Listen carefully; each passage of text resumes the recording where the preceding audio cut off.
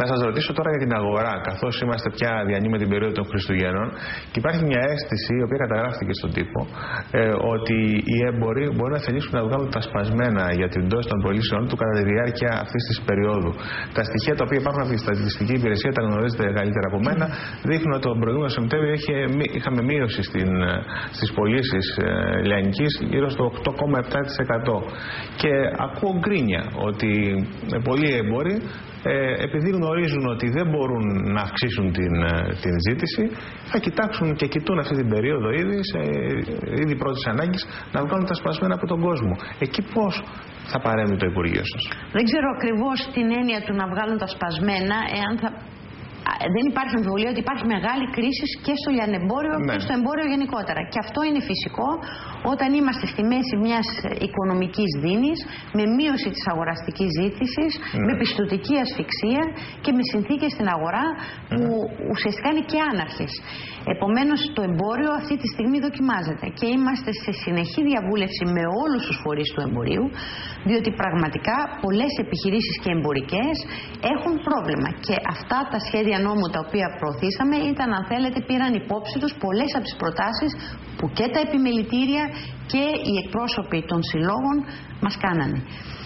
Τώρα, δεν πιστεύω ότι κανένας αυτή τη στιγμή εν μέσω κρίσης θα προσπαθήσει να κερδοσκοπήσει αυξάνοντας τις τιμές του διότι ουσιαστικά ξέρουν ότι τα περιθώρια κάτι τέτοια είναι ε, πάρα πάρα πολύ μικρά και επομένως θα περιμένω ότι θα υπάρξει συγκράτηση τιμών ε, αν μη τι άλλο διότι αυτό συνάδει και με μια επιχειρηματική ε, λογική εν μέσω κρίσης.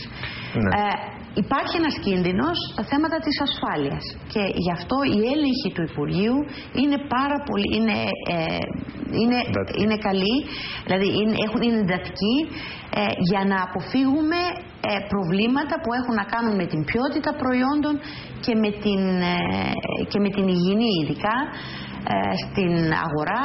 Ήδη είχαμε μια πρώτη παρουσία και ελέγχους στην αγορά και είμαι σίγουρη ότι όλοι θα ανταποκριθούν ε, στην πρόκληση να οι γιορτές να είναι πραγματικά γιορτές και να μην έχουμε προβλήματα είτε κερδοσκοπίας είτε σχροκέρδειας είτε προβλήματα στην αγορά. Υπάρχει θέμα αλλαγής ωραρίου των καταστημάτων. Διάβασα τις δηλώσεις σας που άνοιξαν και θέμα και Κυριακής και ωραρίου, αν κατάλαβα σωστά.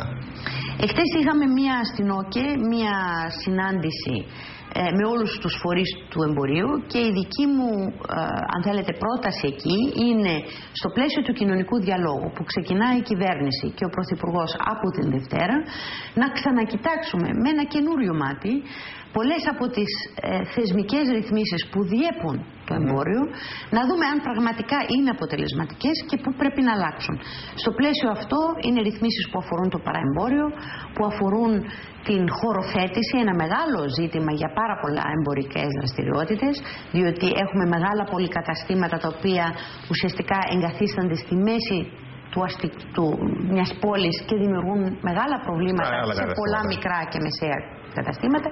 Έχεις να κάνει με το ωράριο, έχεις να κάνει με τις ε, με την λειτουργία των καταστημάτων και ούτω καθεξής. Αυτά είναι ζητήματα τα οποία θα τα βάλουμε μέσα στο διάλογο. Ένας διάλογος ο οποίος δεν θα διαρκέσει επάπειρον, θα έχει ένα συγκεκριμένο χρονοδιάγραμμα, διότι πραγματικά νομίζω ότι πρέπει να τα ξαναδούμε με ένα σύγχρονο μάτι και να γίνουν οι προσαρμογές που πρέπει να γίνουν και στην ελληνική αγορά. Για, όταν λέτε προσαρμογές, τι εννοείτε για το ωράριο, για παράδειγμα; Έχουν αλλάξει πολλές συνθήκες ε, της αγοράς. Υπάρχουν πια ε, μεγάλα εμπορικά κέντρα. Ναι. Ε, υπάρχουν ε, ο καταναλωτής, ιδιαίτερα η γυναίκα και το βλέπω και από τον εαυτό μου, θέλει να μπορεί να, να ψωνίζει ώρες που είναι εκτός της ώρες της δουλειάς της. Είναι πολύ δύσκολο να, πας, να ψωνίσεις όταν είσαι εργαζόμενη γυναίκα. Σαφώς. Λοιπόν, αυτά θέλω να τα ξαναδούμε. Ε, θα γίνει και μια έρευνα και του καταναλωτή να δούμε τι ε, πραγματικά τι θέλει και ο κόσμος. Δεν είναι μόνο τι θέλουν οι συγκεκριμένοι σύλλογοι, αλλά τι θέλει και ο κόσμος, τι χρειάζεται ο κόσμος. Και αυτό θα πει διάλογος, ένας οργανωμένος διάλογος, να δούμε τι τι χρειάζεται η αγορά και πώς μπορούμε όλοι μαζί να ανταποκριθούμε καλύτερα σε αυτή τη ζήτηση. Αυτό πάντως θα ανοίξει και θέμα εργασιακών σχέσεων έτσι, και μέσα στα, στον εμπορικό κόσμο, έτσι, ενώ τους πολιτές, όλο τον κόσμο.